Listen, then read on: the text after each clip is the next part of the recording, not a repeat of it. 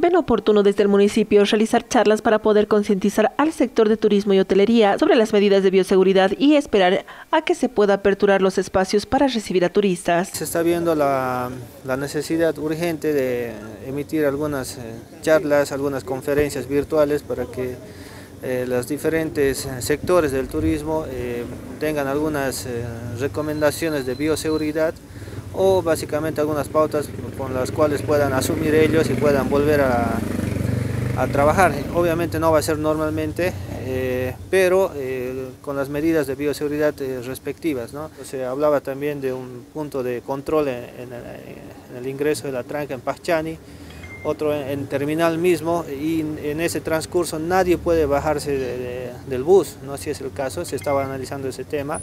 Y obviamente en la terminal también tenemos un puesto de salud que realice los controles de, fiebre o algunas sintomatologías. Próxima semana se van a impartir este, también charlas para las agencias operadoras de turismo, agencias de viajes también, eh, cómo están asumiendo en otros países y cómo se debería asumir en nuestra región y en nuestro departamento pero al mismo tiempo la preocupación es latente debido al calendario que tenemos en la región, lo que significaría la época alta, centrándonos en las fiestas de Santa Anita, Chaguaya y San Roque, las cuales podrían ser promocionadas únicamente por redes sociales. Eh, obviamente siguen vigentes como un calendario cultural festivo que tenemos es grande y amplio. Eh, ustedes sabrán, viene Santa Anita, eh, también viene lo que se refiere ya a las primeras reuniones por la organización de la fiesta grande de San Roque y Chaguaya también.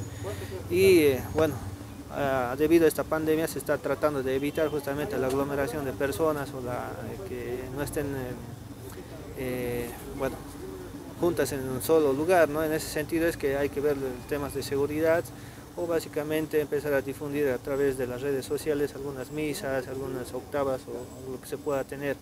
En ese sentido es que la población también tiene que tener en cuenta y ir considerando aquellos aspectos que precautelando la salud de la población también puede ser que se suspendan esas actividades. ¿no?